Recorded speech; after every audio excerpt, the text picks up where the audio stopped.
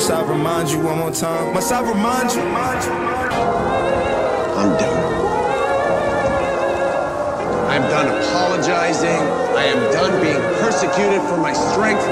You people should be thanking Christ that I am